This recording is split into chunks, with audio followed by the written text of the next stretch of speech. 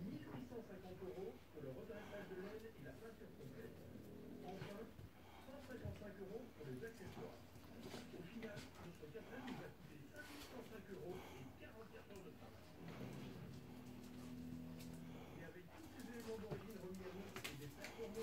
Capitalismo.